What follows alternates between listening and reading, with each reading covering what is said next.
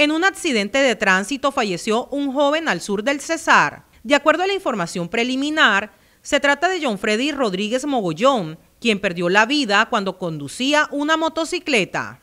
El siniestro ocurrió la noche de este sábado entre la vía del municipio de San Alberto y el sector conocido como La Pedregosa, cuando la víctima se desplazaba como conductor de una motocicleta y al parecer perdió el control del vehículo y cayó al pavimento, sufriendo múltiples golpes que le causaron la muerte de manera inmediata. De Rodríguez Mogollón se conoció que era hincha del Club Atlético Nacional. Al sitio se desplazaron las autoridades para adelantar la inspección técnica al cuerpo que fue trasladado al Instituto de Medicina Legal y Ciencias Forenses.